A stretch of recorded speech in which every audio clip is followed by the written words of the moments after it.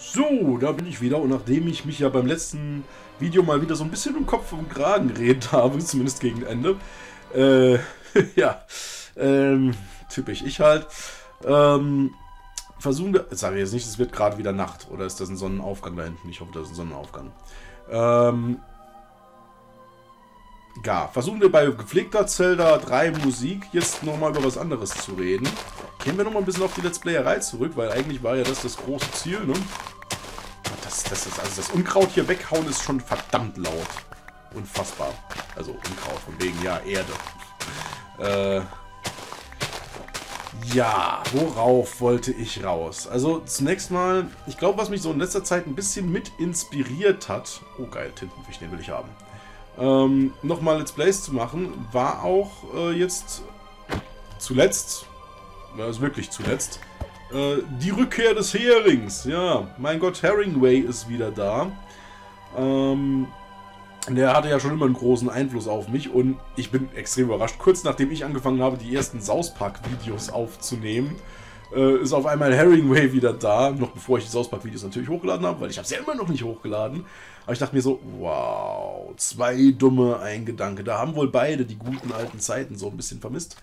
Und erst in dem Moment, als ich dann anfing, wirklich seine Videos wieder zu gucken, vor allem seine Metroid-Videos im Moment, äh, finde ich extrem geil, ähm, ist mir aufgefallen, wie sehr ich auch vermisst habe, ihm zuzugucken.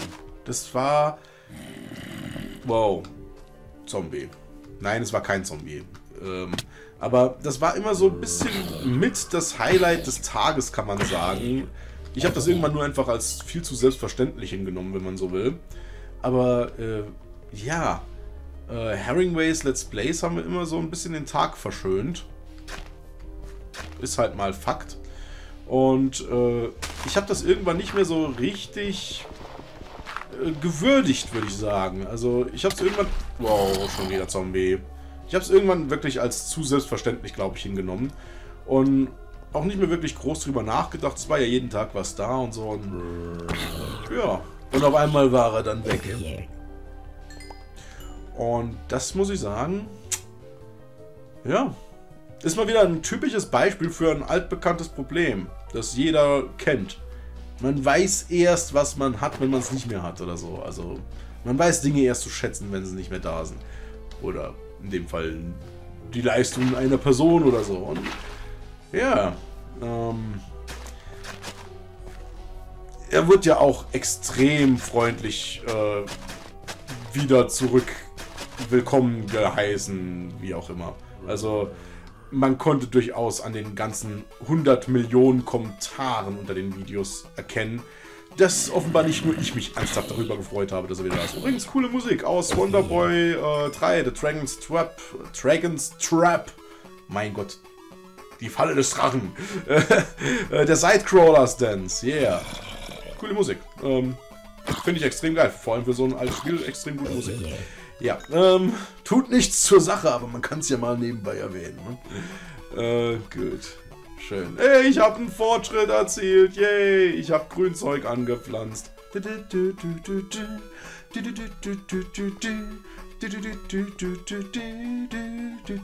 Entschuldigung, ich, ich weiß, ich soll nicht singen, aber es ist so cool. Ich mag das Lied voll. Und ich habe ich hab das Spiel noch nie gespielt in meinem Leben. Ne? Aber ich muss es für die Virtual Console auf der Wii haben, glaube ich. Ich habe es aber noch nie gespielt. Und es haben früher schon Leute gesagt, das solltest du immer machen. Und ich glaub's euch, es ist bestimmt ein geiles Spiel. Ich meine, der zweite Teil war schon extrem gut. Der erste übrigens nicht so, falls jemanden interessiert, aber ja. Egal. äh, so, waren wir jetzt. Ich habe übrigens das letzte Video schon wieder brutalst überzogen. Scheiße, ich wollte das Eisen benutzen, um mir Werkzeug zu machen. Und nicht um mich zu rüsten.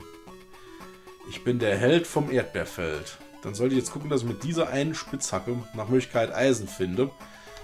Ich brauche nämlich dringend welches. Ich meine, ja klar, ich könnte hier so mehr Spitzhacken machen, aber ich will eigentlich so wenig Steinwerkzeuge jetzt herstellen wie möglich, weil die schmeiße ich hinterher ja doch nur weg, wenn ich wieder Eisen habe. Ne? Ich kenne mich doch. Gut, also statt den Raum da unten weiter auszubauen, fange ich jetzt einfach mal in irgendeine beliebige Richtung an zu strip minen. Und beliebig heißt hier. So. Gang, dein Name möge fortan beliebig lauten. Schön. So, wo war ich jetzt? Äh... Ja, also, äh, dass Herringway jetzt wieder da ist, hat mich durchaus noch ein bisschen mehr motiviert, äh, wieder Let's Plays aufzunehmen. Und trotzdem habe ich ewig rumgezögert und überlegt, ja, wie machst du das eigentlich? Scheiße, ich kann den Redstone nicht nutzbringend abbauen, weil ich kein Eisenwerkzeug habe. Ich krieg den Redstone nicht, wenn ich die Dinger kaputt haue. Äh, zum Kotzen. Lassen wir ihn einfach mal für einen Moment stehen. Uh, Zelda 3 Musik. Schon wieder. Zelda 3 ist schon ein Spiel mit extrem guter Musik, muss man schon sagen. Ne? Also Link to the Past. Und ich höre Wasser. Und ich sehe schon wieder Redstone, der mir im Weg ist. Hm. Und ich habe keine Fackeln mehr. Ich könnte noch welche machen. Ich habe noch ein bisschen was auf Reserve. Ich hätte aber gerne Eisen, ihr Leute. Es scheint sehr viel Wasser hier zu sein. Oh, Eisen. Jawohl, ja. Fall bitte nicht in irgendwelche Lavabecken. Ich brauche eine Fackel. Ähm, das wäre nämlich unschön. So, jetzt habe ich keine Stöckchen mehr, aber das macht nichts. Ich kann mir ja oben wieder welche machen, wenn ich wieder hochgehe. Das ist nicht das Problem. Muss wirklich eine Unmenge an Wasser sein, dem Geräusch nach. Äh, ich weiß auch noch nicht, wie gut ihr das hören könnt. Ich habe bis jetzt noch keine Überprüfung gemacht, wie die Abmischungen sind. Und ich bin völlig durcheinander. Ich weiß echt nicht, wo ich, über was ich überhaupt rede. Ich bin hinten und vorne und überall und sowieso und... Bah. Ja, letztes Video war schon wieder viel zu lang. Ich wollte eigentlich nur noch Viertelstunden-Videos machen. Jetzt war es stattdessen eine halbe Stunde. Jetzt habe ich aber meinen Outer City hier so auf, dass ich die Zeitspur sehen kann und sehe direkt, wenn ich nur auf den kleinen Monitor neben mir gucke, oh mein Gott, ich bin schon bei sieben Minuten. Das heißt, noch acht Minuten wirres Zeug labern und dann hast du schon wieder ein Part fertig. Hahaha! Gott, bin ich gut. Äh, ja, yeah, whatever. Schön. Ja, ähm ursprünglich war mal das Thema vom letzten Part etwas, das ich nie zu Ende gebracht habe, nämlich was ich als nächstes spielen könnte. Versuchen wir es nochmal damit aufzuhalten. Also Wonderboy 3 The Dragon's Trap wird es nicht sein, äh, weil äh, ich weiß nicht, ob das Spiel so geeignet für mich ist. äh, zunächst mal, ich denke, das Spiel wird sehr schwer sein, weil die beiden Vorgänger waren auch scheiße schwer. Und äh, das haben diese uralt Spiele allgemein so an sich im Prinzip. Und ähm, äh, gar, ich würde das ja dann quasi blind spielen, weil ich habe es ja noch nie gespielt. Daher blind, ne? Und ich weiß nicht, ob das so gut funktioniert. Ich habe ja vor, irgend, vor einiger Zeit schon mal drüber geredet. Also, als ich noch Videos gemacht habe. Wahnsinn, das ist jetzt über ein Jahr her alles, ne?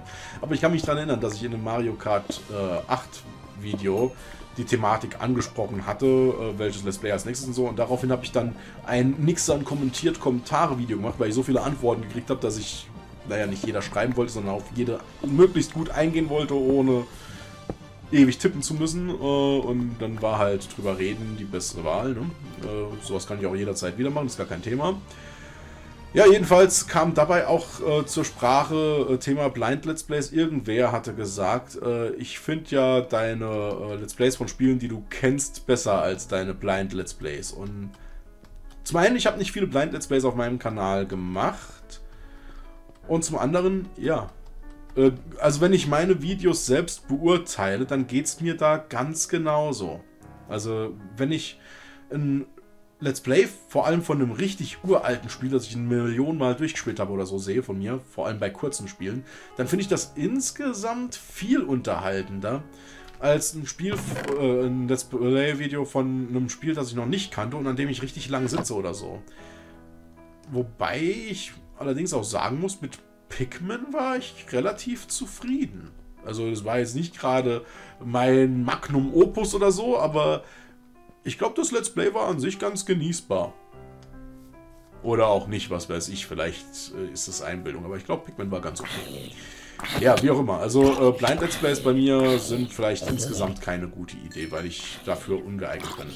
Es ist oft ja auch interessant zu hören, was man selbst für Gedanken zu einem Spiel hat, das man schon ewig kennt und wie man damit in Kontakt kam, was man damals davon halt, äh, hielt, was man heute davon hält.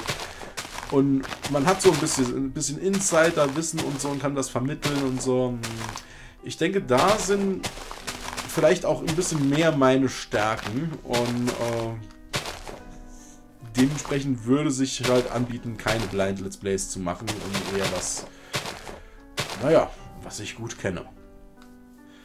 Und ähm, ich habe mir darüber auch schon ernsthaft so ein bisschen Gedanken gemacht und ich frage mich, bei der Gelegenheit auch euch, Wisst ihr, ich bin mittlerweile ein alter Mann. Ich war schon ein alter Mann, als ich mit der Let's Playerei angefangen habe und mittlerweile bin ich ein noch älterer Mann.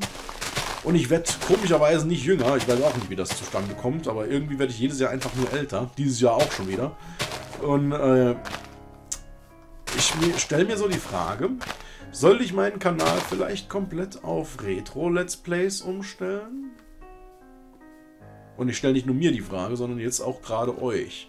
Ich habe selbst schon ein bisschen drüber nachgedacht und hm, ist natürlich die Frage, was versteht man als ein Retro-Let's Play?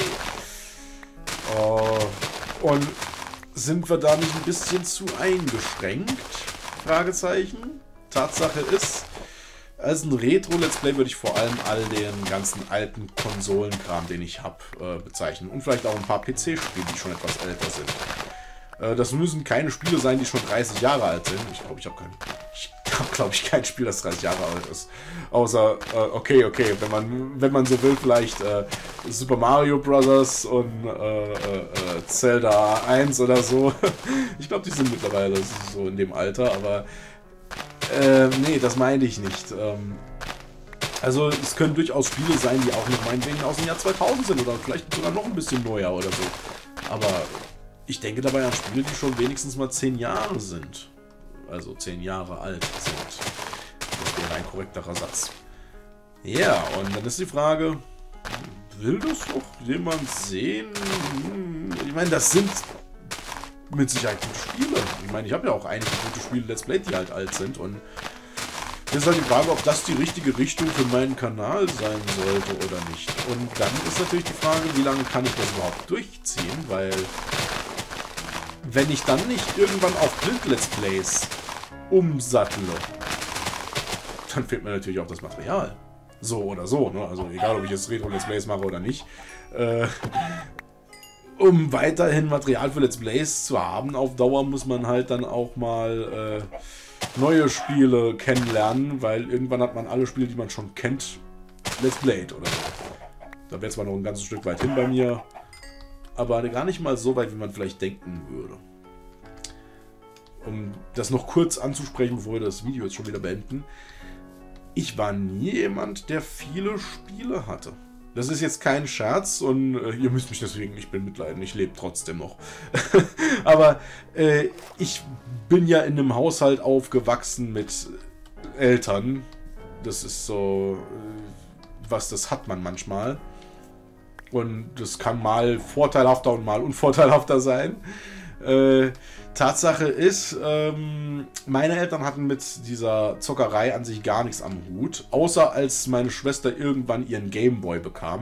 Da haben sie dann da gesessen und stundenlang Tetris gespielt. Beide, sowohl meine Mutter als auch mein Vater. Mein Vater hat irgendwann damit aufgehört. Meine Mutter hat das noch sehr lange weiter praktiziert. Und das war das einzige Spiel, wo man sagen kann, dafür konnten die sich wirklich begeistern.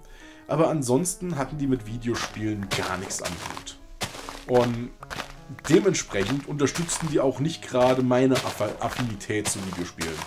Ich konnte im Prinzip darauf hoffen, dass ich irgendwie zu Weihnachten oder zum Geburtstag mal ein neues Spiel geschenkt kriege, wenn es ein billiges ist, aber ansonsten gar nicht. Also ich habe, wenn ich irgendwelche Spiele haben wollte, die selbst kaufen müssen. Das heißt, monatelang Taschengeld sparen, je älter ich wurde, desto kürzer wurden die Abschnitte, weil, dann auch, weil es dann auch mehr Taschengeld gab. Aber gerade als kleines Kind, sprich zu meinem Master-System, Super Nintendo-Zeiten, da konnte ich mir, wenn es gut läuft, zwei Spiele im Jahr leisten für meine Konsolen. Und dementsprechend habe ich sauber wenig Spiel für diese Konsolen.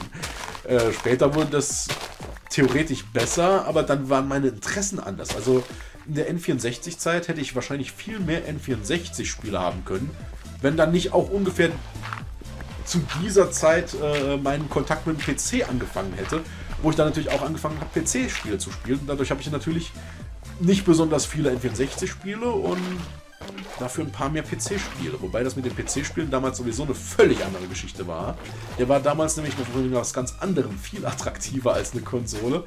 Äh, Nämlich die Tatsache, dass ich äh, jemanden kannte, äh, der also selbst viel am PC gezockt hat. Ein damals erwachsener Mann und äh, der eben entsprechend viele Spiele hatte und der auch extrem viel mit Computern rumgebastelt hat und all so ein Scheiß. Und der hat natürlich einen Brenner. äh, und äh, das war natürlich dann eine sehr günstige Quelle für neue Spiele, möchte ich mal so erwähnen. Und ja, das ist eine Straftat, aber erstens, ich habe die Dinger nicht gebrannt und ich habe sie auch nicht bezahlt. Ich habe sie nicht gekauft, also kann mir keiner irgendwie Handel damit vorwerfen oder dergleichen. Die war nämlich dann geschenkt und selbst wenn irgendwas davon ein Verbrechen ist, ist es mittlerweile seit über 20 Jahren verjährt, also scheiß drauf. Ähm, nee, es ist nicht seit über 20 Jahren verjährt, aber es ist mit Sicherheit vermehrt, äh, verjährt, weil es über 20 Jahre her ist. Gut, wundervoll. Aber ja, ich habe hier von dieser jenen alten, lange vergangenen Zeit ein paar gebrannte Spiele noch rumstehen. Aus verschiedenen Quellen allerdings, muss ich sagen. Keins davon hat mich Geld gekostet, weil wie gesagt, äh, im Regenfall hat es gereicht, dass ich den Leuten eine äh, Rohling mitbringe. Einfach mal eine leere CD aus dem Aldi oder so. Die gab es für eine Mark das Stück oder so. Ähm, und dann haben die halt gebrannt, was ich wollte. Und das war, ja. Ich meine, es gibt genügend Leute, die machen das heute noch trotz Kopierschutz und allen möglichen, aber ja, war halt so. Was wäre ein gutes Beispiel für ein Spiel aus der Zeit? Übrigens, äh, Dragon Ball Musik schon wieder. Äh, und das ist äh, Dragon Ball Z. Ah, das war wirklich Dragon Ball Z. Okay. Ein Beispiel aus der Zeit, beispielsweise äh, Rayman. Das erste Rayman, das es für die Playstation gab. Ja, habe ich hier äh, auf CD gebrannt. Mhm. Äh, nie durchgespielt, weil es assi schwer ist, meiner Meinung nach, aber gut. ich habe sehr viel Zeit damals in das Spiel investiert, aber ich habe es wirklich nicht durchgespielt. Andere Spiele, muss ich aber auch ehrlich sagen, die ich gebrannt hatte, habe ich mittlerweile original, weil ich sie so gut finde, dass ich gesagt habe, ja, das ist mir jetzt einfach wert, das Original hier stehen zu haben. Beispiel dafür ist zum Beispiel Diablo Hellfire. Also sowohl Diablo 1 als auch das Hellfire Add-on. Habe ich original hier stehen, weil ich der Meinung bin, mit dem Spiel hast du so viele tolle Stunden verbracht, da solltest du dann auch entsprechend äh, bereit sein, was dafür zu zahlen. Wobei man nicht mal sagen kann, dass ich äh, die Hersteller damit unterstützt hätte oder irgendwas, weil mittlerweile kriegt man das Zeug ja nur noch gebraucht. Hm. Naja, und schon seit Jahren, weil das ist ja uralt. Ich meine, das wird ja schon seit 100 Jahren nicht mehr verkauft. Ja, wie komme ich eigentlich auf so eine Scheiße? Wie bin ich jetzt wieder derart vom Thema abgekommen? Man weiß es nicht. Naja, egal. Äh, ich würde auch sagen, äh, wir sind schon wieder über die Zeit, also machen wir hier auf jeden Fall erstmal einen Cut. Also Leute, bis dann, ne?